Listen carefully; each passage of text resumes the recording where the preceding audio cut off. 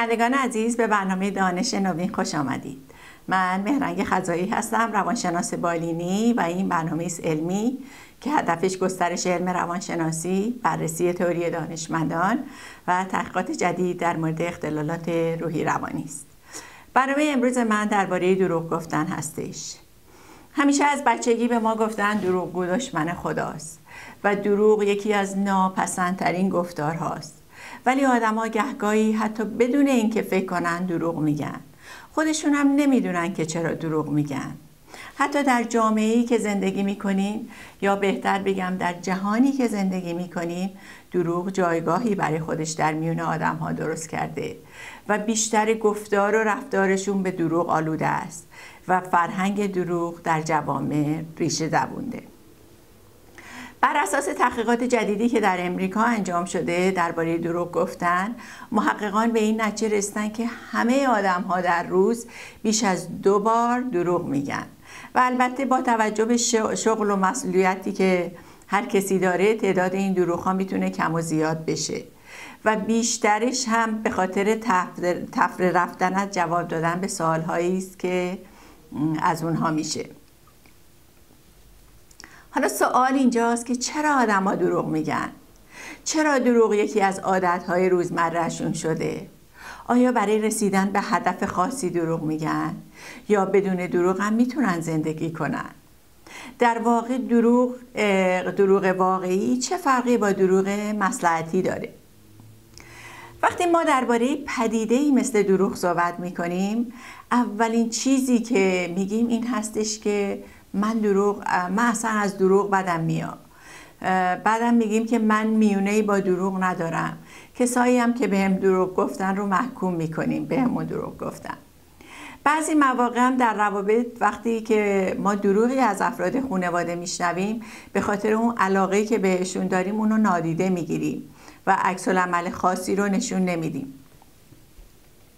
ولی بعد از مدتی کم کم نسبت به اون افراد بی اعتماد میشیم و یا گاهی به تندی و عصبانیت باشون برخورد می‌کنیم که چرا منو احمق فرض کردن و به من دروغ گفتن. بنابراین وقتی ها یک رو نیستن و معلوم هم میشه که یه رو نیستن بقیه به ندرت اون رفتارها رو فراموش می‌کنن و نمی‌تونن اون حسی رو که در مورد اون آدم در ذهنشون جای دادن رو کنار بگذارن و پاک کنن. همیشه یک احساس بیاعتمادی درشون هست. دانشمندان روانشناس معتقدند که دروغ گفتن معمولا از سنین کودکی شروع میشه. یعنی زمانی که کودک به اهمیت حرفا و لغتا پی می‌بره و بعد می‌فهمه که بعضی حرفا می‌تونه چه تاثیرات خارق به روی اطرافیان داشته باشه و, و به طور بعد شروع می‌کنن به طور آگاهانه به دروغ گفتن. بعد متوجه میشه که دروغ می‌تونه اونو از بسیاری از عصبانیت و تنبیه پدر مادر یا اطرافیان حفظ کنه. یعنی به عبارتی دروغ یه راهیه که می‌تونه نظر مثبت اطرافیان رو به خودش بگیره و عمل ناشایست خودش رو پنهان کنه. ولی اینها ولی اینکه همه آدم بزرگ ها به نوعی دروغ میگن هم چندان عجیب نیست و ما باید این نکته رو در نظر داشته باشیم که بیشتر افراد وقتی دروغ میگن به هیچ وجه دوست ندارن به فرد دیگری آسیب برسونن. مثلا ممکنه خیلی از ما درباره لباس دوستمون به دروغ بگیم که او این خیلی هم قشنگه. در حالی که عقیده داریم که نه تنها قشنگ نیست خیلی هم زشته. ولی برای اینکه اونو خوشحال کنیم اون دروغ رو گفتیم. روانشناسا باور دارن وقتی فردی در کودکی مورد آزار و اذیت جنسی قرار می‌گیره یا مورد تمسخر همکلاسی یا خانوادش قرار می‌گیره ممکنه در آینده دست به آزار دیگران بزنه. بدون اینکه خودش تصمیمی داشته باشه یا حتی به اون فکر کنه. چرا؟ چون این کینه های دوران کودکی در درونش هنوز باقی مونده و, و ناخداگاه اونو آزار میده و به روی رفتارش اثر می‌گذاره. بنابراین هر فردی تحت شرایطی ممکنه حرفایی بزنه یا کارایی بکنه که از تجربه های قبلی اون سرچشمه گرفتن. و دروغ معمولا از ناامنی و ترس میاد. فردی که دروغ میگه معمولا برای رها کردن خودش از شرایطی که توضیحش براش مشکله دست به دروغ می‌زنه. خیلی ها دروغگویی رو یه نوع زرنگی می‌دونن ولی اونا نمی‌دونن که دروغگویی چه عواقب روانی منفی هم برای خودشون و هم برای دیگران می‌تونه داشته باشه. چون آدم دروغگو دائم باید هوشیار باشه تا مبادا در آینده حرفی یا عملی خلاف دروغی که گفته انجام بده و این انرژی زیادی ازش می‌گیره و در مقابلش اون کسی هم که دروغ بهش گفته شده بعد از فاش شدن دروغ حس اعتمادش رو با به اون شخص از دست میده. در جوامع کنترل کننده همیشه یک نوع تعارض بین ارزش های اخلاقی با ارزش های اجتماعی وجود داره. برای مثال دروغ گفتن در جامعه کنترل کننده زیاد اتفاق میافته. در یک جامعه آزاد شما وقتی راست میگی طبیعتا زندگی بهتری داری. اصلا دلیلی برای دروغ گفتن نداری. چرا؟ چون جامعه آزاده. اما فرض کنید که انسان راستگو در جامعه‌ای که همه رفتارهای فردی رو کنترل می‌کنن بخواد راستگو باشه. خب طبیعیه که وقتی راست میگه با مشکل برمیخوره. در جوامع تمامیت خواه برای مثال میان از شما می‌پرسن که آیا به دین اعتقاد داریم؟ اگه داشته باشین و راست بگین بازم ممکنه به شما شک کنن و ازتون امتحان کنن. ازتون سوالای دینی کنن تا ثابت کنن که راست میگی. ولی اگر قبول نداشته باشید و بگید نه راستشو بگید بگید من قبول ندارم بعد براتون عواقب ناخوشایندی ممکنه پیش بیا ممکنه شغلتون رو از دست بدین موقعیتاتون رو از دست بدین. برای همین به همین دلیله که افراد همیشه در معرض دروغ گفتن هستند در واقع دروغ اولین مشکل اخلاقی جامعه بسته و به خصوص تمامیت خواه هستش جامعه تمامیت خواه چه اخلاقی باشه و چه غیر اخلاقی با هر آرمان و هدفی که پیش بره خود به خود اون جامعه غیر اخلاقی میشه و مردم شروع به دروغ گفتن می‌کنن چرا؟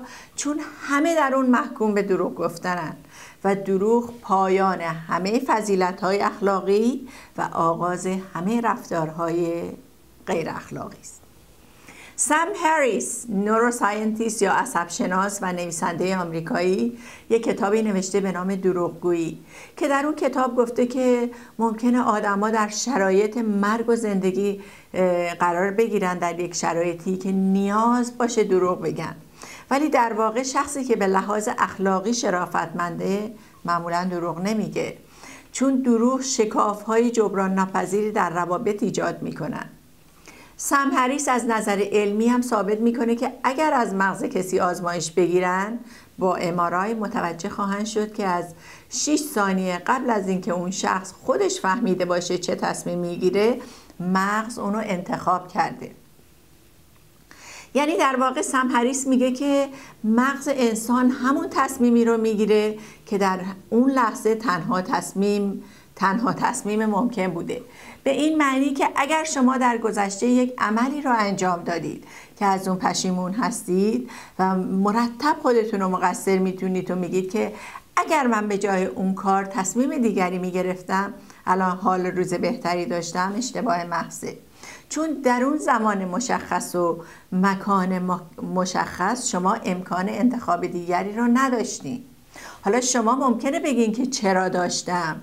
در همون موقع می‌تونستم یه راه های بهتری رو انتخاب کنم. ولی باز جواب همونه. یعنی شما بالاخره همون راه رو انتخاب می‌کردید که کردید سمپریس یه مثالی می‌زنه میگه که اگر کسی فرد بیگناهی رو به نحو وحشیانه بکشه در واقع به این دلیل بوده که در اون موقع اون انتخاب دیگری نداشته. یعنی در شرایط روحی بوده که فقط می‌تونست اون عمل رو انجام بده و اون آدم رو بکشه. بنابراین یک فرد جامعه ستیز در محیط و زمان خاصی دست به عملی می‌زنه که خودش اختیاری به روی اون نداشته. چون افراد جامعه, جامعه ستیز متولد نمیشن که قاتل باشن و اعمال غیر اخلاقی کنن. ولی به خاطر بد اقبالیشون که در یک محیط ناسالم رشد کردن و در جبر اجتماع اومدن به یک قاتل و آدم ضد اجتماعی تبدیل شدن. بنابراین در بسیاری از موارد ما دیگران رو به, خاطر به راحتی می‌تونیم اعمالشون رو محکوم کنیم. ولی اگر ما خودمون رو در برابر این مسائل قرار بدیم که اگر من واقعا جای اون بودم به نحوی که از زمان تولد تمام تجربیات اون آدم رو در زندگی داشتم آیا واقعا چنین عملی رو مرتکب نمی شدم؟ در اون موقع دیگه به راحتی اون افراد رو سرزنش نمی کنیم. بنابراین فرد دروغگو هم خیلی راحت می‌تونه ادعا کنه که چاره جز دروغگویی در اون زمان مشخص نداشته و دروغگوییش از سر جبر بوده حالا سوالی که اینجا برای من مطرح میشه اینه که پس به گفته سم هریس اگر ما بگیم یه نفر که جنایت می‌کنه و دروغ میگه از سر جبر بوده و چاره دیگه ای نداشته در اون موقع اراده کجا میره؟ چون در انسان اراده خیلی قویه که معمولا کنترل داره به روی میل ها و خواسته ها و شهوت ها و کشمکش های درونی و تصمیم هایی که می‌گیره. حالا درسته که آدما می‌تونن تحت تاثیر عوامل بیرونی و محیطی و جبر اجتماع قرار بگیرن ولی اونها عوامل درونی دیگه ای هم دارن که می‌تونه برخلاف عوامل بیرونی و محیطی عمل کنه بنابراین چطور ممکنه که در تصمیم گیری آزاد نباشه؟ حالا درسته که در بیشتر موارد محیطه که به مردم و اجتماع شکل میده و ممکنه در مواردی روی اونها کنترل داشته باشه. ولی این تاثیر به هیچ وجه بر فرد فرد مردم یکسان نیست. و حتی گاهی اراده و عمل یه فرد می‌تونه تاثیرات شگفت انگیزی به روی یک اجتماع بزرگ داشته باشه. شما اگر به تاریخ نگاه کنید می‌بینید انسانهایی بودن برای مثال مثل گاندی که با اراده قوی خودشون جامعه رو دگرگون کردن بدون اینکه دروغ و فریبی در کارشون باشه یا اسیر جبر اجتماع بشن. حتی آدمایی هستن که نمی‌گذارن خواسته های بیرونی روشون تاثیر بگذاره. مثل کسایی که ترک دنیا می‌کنن کشیش میشن راهبه میشن و راه خدا رو پیش می‌گیرن. اونا با اراده قویه که می‌تونن اون قرائز جنسی و شهوت ها و خواسته هاشون رو کنترل کنن. بنابراین ما نمی‌تونیم بگیم که اگر جای اون قاتل بودم شاید در همون موقع اون قتل رو انجام می‌دادم. من در بیمارستان روانی با آدم های ضد اجتماعی زیادی کار می‌کنم و پرونده های رفتاری اونا رو وقتی نگاه می‌کنی می‌بینی که اونا الگوهای تکرار شونده دارن. یعنی چند بار چندین بار از زندان آزاد شدن از بیمارستان های روانی آزاد شدن ولی هنوز اون کارها رو کارهای خلاف و ادامه دادن. درست مثل کسایی که در جامعه آزادن ولی در جهت جریان آب شنا نمی کنن همیشه برخلاف اون در حرکتن. بنابراین آیا من مجبورم دروغ بگم چون تصمیماتم در جهت ارزای منه؟ مسلما نه. حالا درسته که بسیاری از خواسته های من ممکنه تحت تاثیر عوامل محیط شکل گرفته باشه ولی خواسته ها و کشمکش های من چه درونی باشن چه, بی، چه محیطی یا ترکیبی از تو اونها جزی از منن جزی از شخصیت منه بنابراین اگر در جامعه ای وابستگی های منو بیان از من بگیرن اگر قرائز جنسی منو از من جدا کنن اگر عادت های منو تغییر بدن اگر تاثیرات محیط رو از من پاک کنن آیا می‌تونن اراده منم از من بگیرن؟ مسلما نه پس به هیچ وجه نمی‌تونیم تصمیم گیری های انسان رو که در جهت ارزای این کشش ها و خواسته هاش دلیل بر جب مجبور بودن اونا بدونیم و اراده در اون نقش بسیار مهمی داره. حالا یه موضوع دیگری هم که آدما در موقعیت هایی دروغ میگن و یا دست به اعمال ناشایست می‌زنن برای اینکه اونا به خاطر آموزش و پرورشی که داشتن که اراده و توانایی ذهنی و تصوراتشون محدوده. بنابراین اگر ما به بحث دروغگویی و عوامل اون به صورت مجزا نگاه کنیم می‌بینیم که کلمات و معنای اونها چه اثراتی می‌تونن در دروغ گفتن داشته باشن. امانوئل کانت یکی از فیلسوفان آلمانی درباره دروغ انقدر سختگیر هستش که امکان دروغ مسلحت آمیز هم نمیده. نمیپذیره. در حالی که دروغ مسلحت آمیز جهانیه. در هر فرهنگی هستش و در فرهنگ ایرانی کاملا جا افتاده. سعدی میگه دروغ مسلحت آمیز به از راست فتنه انگیزه. البته سعدی چون شاعر مردمی بوده این شعر رو به حال اون زمان گفته که حکایتی در پشت اونه. سعدی در گلستانش نقل کرده که یه پادشاهی بوده که فرمان کشتن یک اسیری رو صادر کرده. اون اسیر بیچاره در حالت ناامیدی شروع به فوش دادن به فهاشی به شاه می‌کنه. شاه از وزیراش می‌پرسه که این اسیر چی میگه؟ یکی از وزیرا که آدم خوبی بوده میگه که قربانداره از شما نیکی میگه. میگه شما انقدر بزرگوار هستید که آدما رو میبخشین. بعد شاه خیلی از این حرف خوشش میاد و دلش به رحم میاد و میگه که اون اسیر رو نکشید آزادش کنید. اما یه وزیر دیگه میگه که نه قربان این اسیر داره شما رو دشنام میده. بعد شاه رو به اون وزیر می‌کنه و میگه من اون دروغ رو بیشتر پسندیدم تا این راستی که تو گفتی چون در اون دروغ مسلحتی بود. برای همینه که میگن دروغ مسلحت آمیز به از راست فتنه انگیزه. این داستان در طول تاریخ سوالهای فراوانی رو مطرح کرده و سعدی رو اومده به نااخلاقی بودن متهم کرده ولی واقعا هدف سعدی از این سخن چه بوده؟ آیا می‌خواد بگه دروغ مسلحت آمیز خوبه؟ یا اینکه می‌خواد بگه که بعضی از دروغا با همه اخلاقی بودنشون بهتر از راست فتنه انگیزه خب بینندگان عزیز حالا به یک آهنگ زیبا که من براتون انتخاب کردم گوش می‌کنیم و بعد من درباره دروغ توضیحات بیشتری خواهم داد. پس با ما باشین.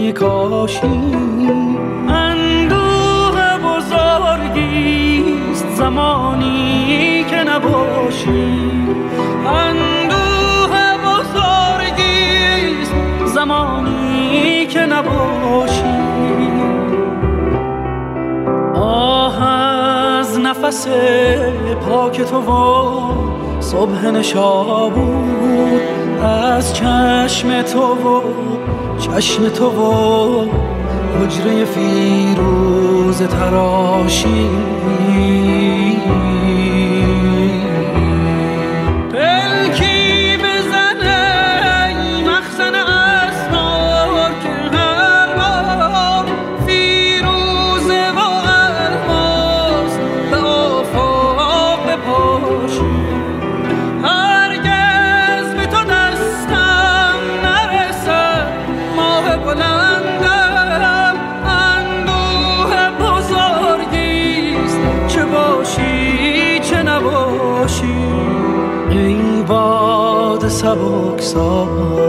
ای باد سبکسار مرا بگذر و بگذار مرا بگذر و بگذار. هشدار که آرامش ما را نخراشی برکه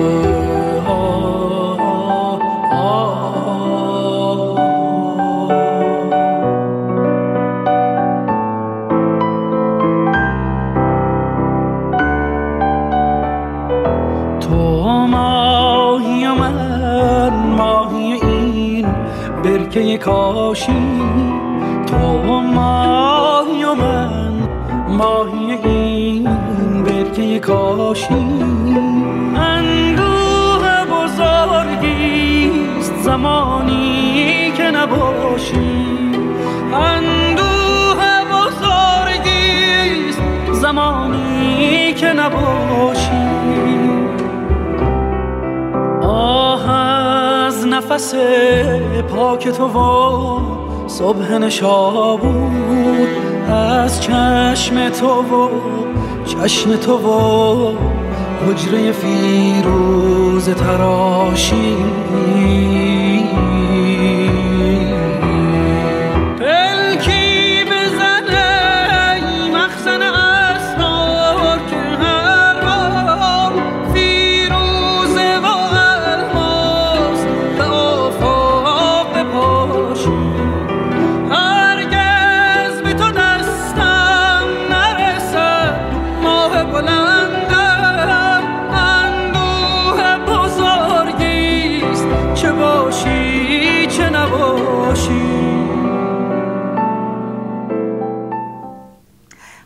بینندگان عزیز امیدوارم از این آهنگ بسیار زیبا که براتون پخش شد لذت برده باشید حالا برگردیم به بحث دروغ گفتن. بعضی از فیلسوفان اخلاق به دلیل اینکه در هر نوع دروغی نوعی فریب دادن دیگران وجود داره هر نوع دروغی رو غیر اخلاقی می‌دونن. امانوئل کانت فیلسوف آلمانی در کتابی به عنوان درباره دروغگویی از روی انگیزه خیرخواهانه به منتقدانش میگه که این که از روی مسلحت و خیرخواهی دروغ بگیم درست اما واقعا از کجا می‌تونیم مرز مسلحت واقعی رو با مسلحت غیر واقعی تشخیص بدیم؟ کان یه مثالی رو مطرح می‌کنه که میگه که یه فردی قاتلی آدم بیگناهی رو میاد تعقیب می‌کنه تا اون رو به قتل برسونه و آدرس مخفیگاه اون رو میاد از شما می‌پرسه.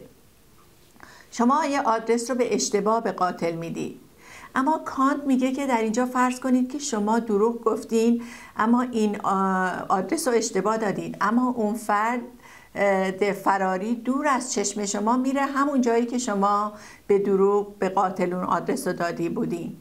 حالا بعد قاتل مخفیان بعد میره اون رو پیدا می‌کنه و می‌کشه به قتل میرسونه.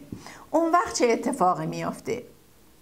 بنابراین در اینجا اون فرد شما دو گناه رو مرتکب شدین. یکی قانون اخلاق رو زیر پا گذاشتین و پیش وجدانتون محکومین و دیگه اینکه گناه قتل به نوعی به گردن شما هم هست. چون اگر راستش رو می‌گفتین به حکم وجدان عمل کرده بودین و در عین حال مسئولیت قتلی هم قسمتی از مسئولیت قتل هم به گردن نبود. بنابراین امر مطلق کان دروغ رو در هر شرایطی غیر اخلاقی می‌بینه. البته بعضی از اندیشمندان به امر مطلق کانت نکته گرفتن و یکی از مشکلات اساسی نظریه کانت رو در مطلق گرایی می‌دونن. چون اگر در احکام اخلاقی هیچ گونه استثنایی نباشه ممکنه در اون مشکلاتی به وجود بیاد. مثلا ممکنه یک سخن راست عالمی را ویران کنه و موجب قتل هزاران انسان بیگناه بشه و ولی یک دروغ مسلحتی بتونه از اون حادثه جلوگیری کنه. چون همه ما در مواردی احساس کردیم که بعضی دروغا لازمن و حتی اخلاقی هم به نظر می‌رسن. برای مثال دروغ گفتن سربازی که زیر شکنجه های بازجویان ارتش دشمنش قرار می‌گیره برای نشون دادن محل گردانش نه تنها مجاز به نظر می‌رسه بلکه, در بلکه درست هم هست. چون اونا اگر اون محل رو پیدا کنن ممکنه که صدها سرباز رو بکشن. و اینجاست که مواردی از دروغگویی مسلحتیه و اون مجاز شمرده میشه. در, در حالتی که امر مطلق کان دروغ رو در هر شرایطی غیر اخلاقی می‌دونه. بنابراین دروغ مسلحت آمیز یعنی دروغیه که فلسفه خودش رو از دست داده و یک فلسفه راستی رو پیدا کرده. یعنی دروغیه که با اون انسان یک حقیقتی رو نجات میده. ولی دروغ منفعت آمیز یعنی انسان دروغ میگه که خودش یک سودی برده باشه. وقتی پدر مادرها به فرزندانشون دروغ میگن متقابلا فرزندها به اونها دروغ میگن. رئیس ها وقتی به کارمندها دروغ میگن کارمندها هم متقابلا به اونها دروغ میگن. زنها و شوهرها وقتی متقابلا به هم دروغ میگن همه دروغ همه دروغ ها هم میان مسلحت آمیز می‌دونن. در نتیجه دیگه معلوم نیست که دروغ غیر مسلحت آمیز کدومه و دروغ مسلحت آمیز کدومه. چون مفهوم دروغ به معنای منحرف دیگران منحرف کردن دیگرانه و این فرایند می‌تونه با هدفهای مختلفی انجام بگیره. حتی به صورت ناخداگاهانه که یک نوع از این دروغ ها دروغ در مورد خبرهای ناگواره مثلا نگفتن بیماری و وضع حقیقی یک بیمار یا دروغ گفتن درباره خبر مرگ کسی و امثال اونا. بنابراین دروغ زندگی آدم ها رو پیچیده می‌کنه در حالتی که صداقت حافظه انسان رو میاد به حقیقت متصل می‌کنه. حالا هر نوع دروغی حتی خیرخواهانه ترین نوع اون سعی داره که یک حقایقی رو پنهان کنه و در نتیجه میاد یک صدی میشه در برای رشد معنوی انسان ها چون هسته مرکزی جامعه خونواده است. اگر پدر و مادری در برابر فرزندان خودشون به همدیگه و به فرزندان خودشون دروغ نگن اونا از همون بچگی دروغ گفتن رو یاد نخواهند گرفت و در جامعه افراد بهتری خواهند بود. دروغگویی مثل اعتیاد به مواد مخدره که هرگز نباید به اون آلوده شد. اما همین که کسی به طرف اون بره ناخواسته تا آخر خط میره و نمی‌تونه دروغ نگه. و هر جا که لازم باشه دروغ میگه. و اون آدم همیشه اعتماد و احترامش بین دیگران از بین میره و به لحاظ شخصیت به هیچ تبدیل میشه. و تنها راه مقابله دروغ راستگویی و صداقت هست. خب بینندگان عزیز امیدوارم که از این برنامه لذت برده باشین. شما می‌تونید برنامه ها رو از یوتیوب فیسبوک من و پجای سرای سایت وبسایت پجای سرای دانش نوین ببینید مقاله رو بخونید و دانشتون زیاد بشه. و من تا هفته آینده اوقات بسیار خوشی برای شما آرزو دارم.